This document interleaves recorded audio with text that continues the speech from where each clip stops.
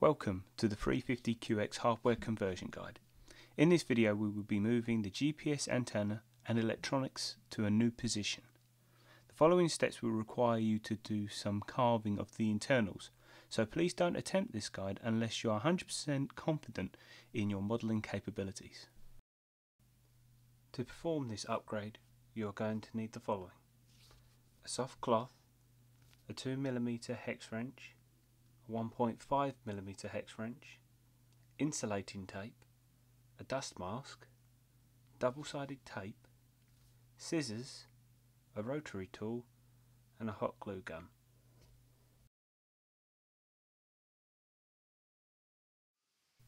The first step is to clean your work area with a soft cloth. Next, unscrew the prop screws with your 2mm hex wrench from each of the motors and remove the propellers. Now turn the 350 onto its back and remove the 32 screws with your 1.5mm hex wrench. Turn the 350QX back over so that it's sitting on its landing gear. Then position it so the battery compartment is facing you. On the top of the 350QX you'll see numbers, labelling each of the arms. The following steps relate to arm number 3. Now remove the top from the bottom.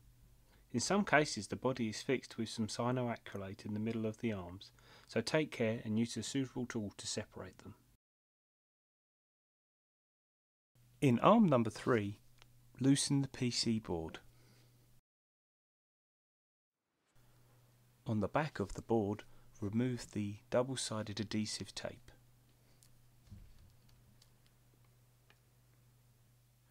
Grab your rotary tool and remove the fillet indicated. Note that we advise you wear a dust respirator whilst you're doing this.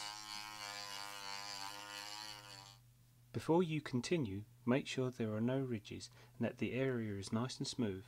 Also, clean the area, removing any dust particles. Now take the top portion of the 350QX and locate the third leg. Once again, remove the selective fillets, making sure that there are no raised edges and that the surface is smooth and dust free.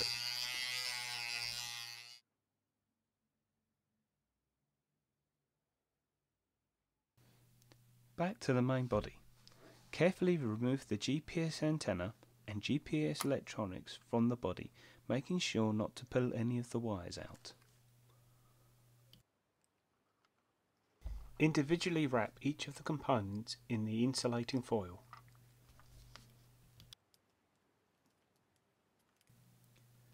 Going back to the main body and the third arm, place a small amount of hot glue in the area you worked on. Then put the board you loosened back into its original position.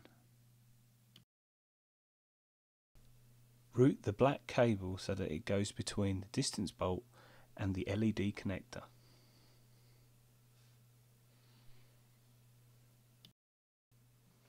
Now back to the GPS components. Get some double-sided tape and place it on the back of the GPS electronics. Then carefully stick it to the battery frame. Now place some double-sided tape to the back of the antenna and stick it on top of the board you just glued. Make sure that the wiring goes in between the LED and the ESC connector. Set the body back on top of the bottom.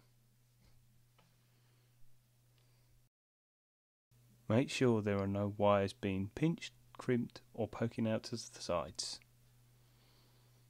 Turn the 350QX onto its back making sure none of the cables are crossing the screw holes. Now screw the two pieces back together again.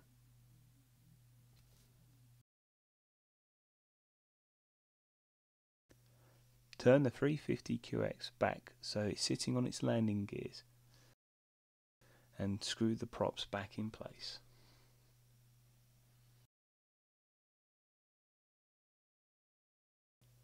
And then you're done. This is the hardware portion of the upgrade completed and ready for the software upgrade. Thanks for watching.